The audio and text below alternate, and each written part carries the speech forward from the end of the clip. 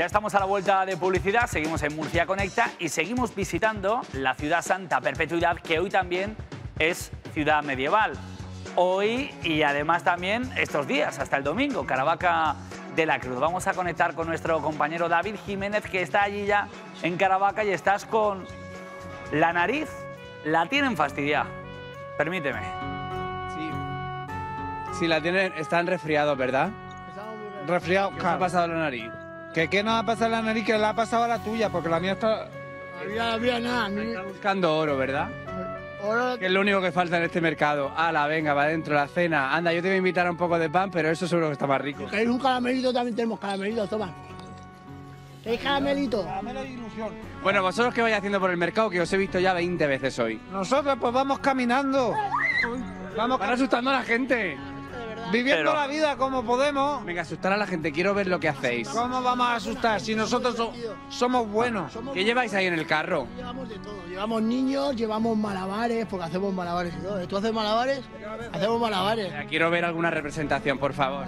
Venga, va a hacer unos malabares a los niños, a ver si sale David. bien, porque claro, esto es improvisación Yo- en directo. Estos van, estos personajes, estos gnomos. Dime, Fran. No, que no me fío de ellos. Que te apartes un poco o algo. Que te meten ahí en el carro. No, ni yo tampoco. Sí, sí, fíjate cómo llevan los zapatos, que no llevan zapatos, que los pantalones se le caen, vamos, son dos personajes auténticos del medievo. Ahora sí, los bolos esos a mí me suenan más actuales. Más le han dado al F5 y se han actualizado un poquito. Bueno, eso sí, son juglares un poco yo. feos, Fíjate, ¿no? O bufones. Sí, eso es verdad. Bueno, mientras ellos son bufones, ellos se definen como bufones. A ver, lo que, ay, le van el caramelo a la niña, son horrorosos, tengo que decírtelo. Ven aquí que te enseñe algo más, más amable. Fíjate este, este horno que tiene aquí mi amigo que viene de, de Gerona. Muy buenas tardes. Hola, buenas tardes, ¿cómo les va? ¿Qué jaleo tienen estos dos individuos? ¿Eso es Bueno, usted tiene aquí un taller de pan artesano. Aquí estamos realizando un taller artesano de panadería orientado a los niños y a los públicos en general. Don- Usted tiene el mejor sitio de todo el mercado, porque aunque haga frío, usted calienta las manitas ahí muy a gusto. No, los mejores periodistas son ustedes. gracias. Tengo el gusto y el agrado de estar con los mejores periodistas del país. Muchas Bueno, gracias. Voy a seguir, eh, hay un montón de cosas Este para hombre no enseñar. es ni argentino ni uruguayo, productos. seguro. ¿Tiene algo más que decir? Sí, quería explicarle que acá el producto estrella es la leña de encina, lo que le Ah. da el sabor y el buque a la bellota, tanto a las pizzas, los preñados, el pan de leche. usted un acento poco catalán. Bueno, soy de un poquito más lejos. Claro. Venimos desde Uruguay, pero ya llevo muchos años en Argentina. Uruguayo. Mezcla lo que yo he dicho. Voy a seguir eh, Nos vende un pan cosas. donde sea, Muchísimas gracias. del Una agua. mezcla. Tienes tú muy buen oído, es verdad. Bueno, Sí. lo que, lo que quieras. Fíjate todo lo que hace con ese horno maravilloso de leña, de esa que nos contaba, pizzas y un montón de tipos de panes diferentes. Oye, ¿dónde te has comprado eso tan chulo? Dale, dale, dale. vuelta, En un dale, puesto. Dale, dale con ganas ahí, venga ahí, que lo saques de- de- de- del sitio.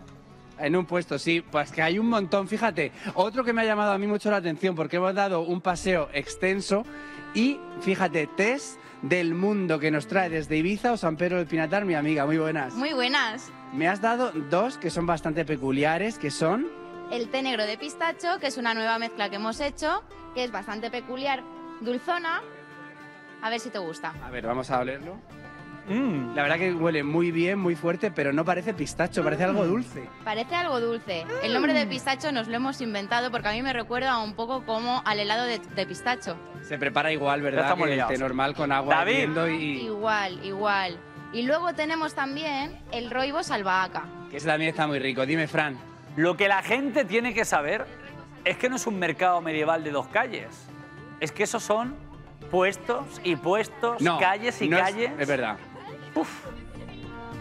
Esto huele muy rico también. Son calles y calles porque llevamos por lo menos ya un cuarto de hora andando para llegar hasta este punto. Es verdad que es muy grande el mercadillo, mercadazo medieval, porque hay más de 200 artesanos como ella que nos traen productos típicos, en este caso los test. Muchas gracias. Voy a seguir porque quiero también, fijaos, hay zonas también. Hola Rafa, ¿qué tal? Muy buenas.